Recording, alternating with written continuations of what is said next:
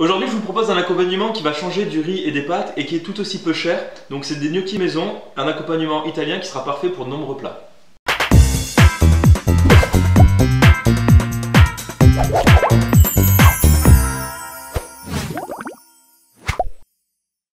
Pour ces gnocchis et pour 4 personnes, vous aurez besoin de 600 g de pommes de terre bouillies. Donc pour les bouillir, vous les mettez dans de l'eau bouillante, vous attendez environ 40 minutes, vous les piquez avec un couteau et si ça s'enfonce, c'est que c'est prêt. Ensuite, 150 g de farine, un œuf et des épices. Ici, classique, sel, poivre et un peu de piment. Donc là, la première étape, c'est d'éplucher les pommes de terre. Euh, après, on va les mettre dans le saladier, les écraser et les mélanger avec la farine. Donc si vous avez de la purée de la veille, ça marche aussi.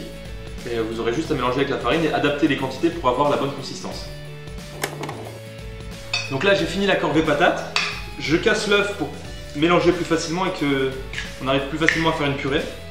Et j'essaie voilà, de bien écraser avant d'ajouter la farine.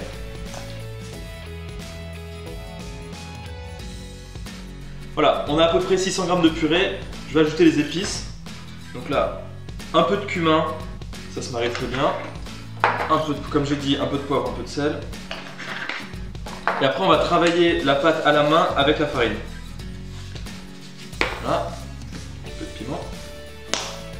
Et les 150 g de farine.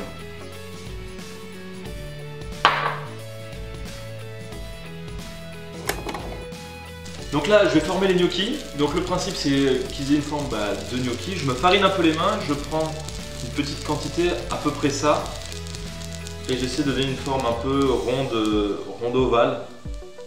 Et après, avec la fourchette que je farine aussi, J'essaie de donner la forme caractéristique du gnocchi en appuyant au-dessus. Et voilà. Et on répète l'étape pour les 600 grammes plus de pommes de terre. Donc là, comme vous pouvez le voir, tous les gnocchis sont formés. C'est pour environ 4 personnes. Il y a l'eau qui bout. Donc on va les plonger délicatement à la fourchette. Donc on accompagne le gnocchi dans l'eau. Comme ça. Pour la cuisson, c'est très simple aussi. Dès qu'ils remontent, c'est qu'ils sont cuits. Après un petit aller-retour sur la poêle d'environ 3 minutes, euh, voilà ce que ça donne. Les gnocchis, ils sont prêts à être mangés maintenant euh, chauds. L'autre partie peut être conservée dans le frigo pendant environ une semaine.